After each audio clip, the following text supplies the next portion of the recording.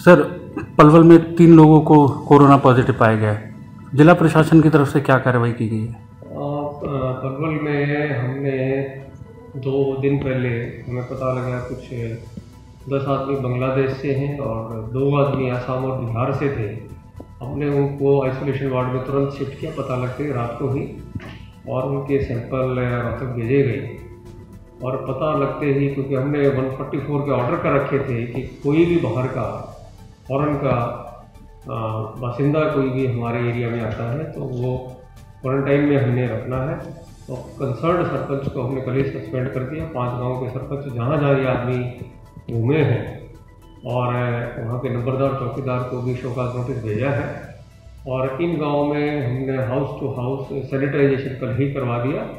इसके अलावा इन पाँच गाँवों को कंटेन कर दिया है। आज जैसे ही रात को पॉजिटिव रिपोर्ट आई कंटेन के ऑर्डर कर दिए और छः गाँव को बफर जोन डिक्लेयर कर दिया है।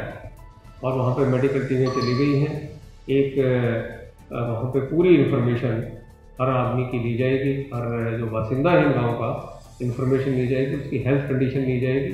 बैरिकेडिंग लगा दी है। जो खाने की सप्लाई होगी, वो भी वहाँ पे पुख्ता इंतज़ाम के लिए मजिस्ट्रेट लगा दी पाँचों गाँव में। एस टीम को ओवरऑल मजिस्ट्रेट लगा दिया है। तो किसी भी गाँव में अगर हमें ऐसा कोई लगता है कि इसमें सिम्टम्स हैं तो उसको हम तुरंत क्वारंटाइन होम में शिफ्ट कर देंगे। और इसके अलावा भी हमने जो हमारे पास एक इन्फॉर्मेशन आई थी जमात से, जो लोग आए हैं, उनको भी एक क्वारंटाइन होम में लगभग सौ से ज़्यादा आदमियों को हमने शिफ्ट कर दिया। और हमारी कोशिश ये है कि पूरे ज़िले से भी हम फिगर ले रहे हैं। शुरू से ही, क्योंकि 20 तारीख को हमने ड्यूटी मजिस्ट्रेट और पुलिस अफसर की टीम बना दी थी तो पूरे ज़िले से लगभग हमने सौ से ज़्यादा फॉरनर्स या तो ऊपर से इन्फॉर्मेशन आई या लोगों से आई या हमारे लेवल पे जो इन्फॉर्मेशन आई उन आदमियों के हमने सैंपल लेके और क्वारंटाइन या आइसोलेशन वार्ड में उनको कर दिया।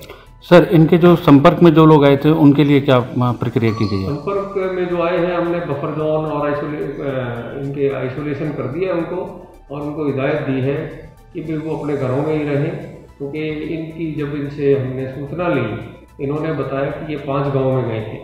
और उन पाँच गाँव में जब गए हैं तो उन पाँच गाँव को हमने कंटेन कर दिया बिल्कुल।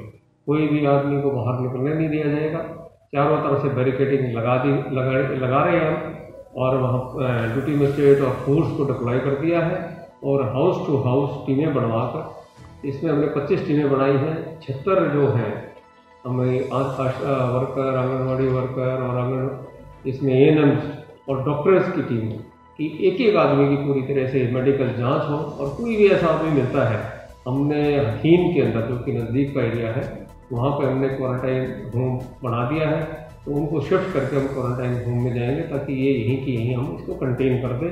और हमारी पूरी उम्मीद है कि ये आगे इसको जो तीन आदमी संपर्क में इसको फैलने नहीं देंगे। सर, पलवल के शेखपुरा में भी बताया था कि जो ये बारह लोग थे, ये यहाँ पे भी रुक के गए थे।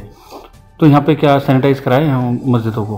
जहाँ जहाँ भी ये गए हैं जहाँ जहाँ भी गए हैं, जो जानकारी आई है, वो हेल्थ वालों ने भी जानकारी ली है और इनके साथ पुलिस जो हमारे ऑफिशियल थे उन्होंने भी जानकारी आती थी।